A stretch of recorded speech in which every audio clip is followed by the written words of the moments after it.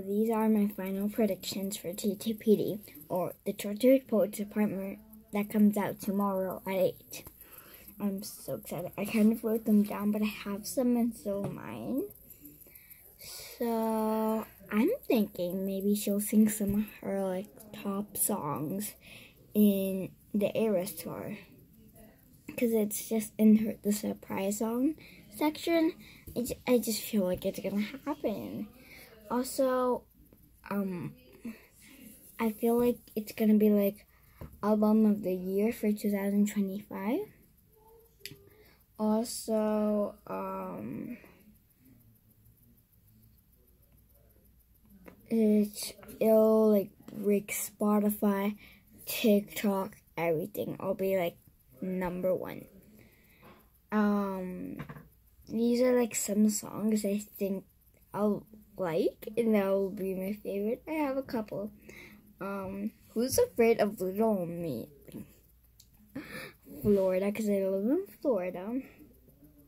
I can fix him with a broken heart. No, really, I can. No, it's I. I can. I can do it with a broken heart. Um, But Daddy I Love Him. I can fix him with a broken heart. No, really, I can. Okay, yeah. And then I just, I don't know. The Bolter, I feel like is also going to be one of my favorites.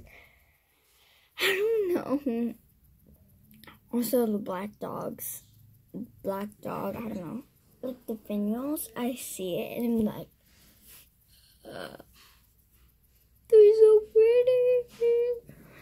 Anyway, I'm just like super excited for tomorrow the first thing I'm gonna do when I go home is basically do like um get home, unpack, and start like searching up to how she released like anything else. I think she releases it at eight for the YouTube. She did like a time thingy, but I think that's for the music videos. I'm not sure. But anyways, I'm super excited. I'm not going to leak that because I just, I, I feel like, no. It's not that. It just, it's 909. So, like, um. So, yeah. I don't know. Those are my predictions for TTPD. See you soon. And see you tomorrow. I may react my, my reaction to TTPD. So, stay tuned for that. Bye.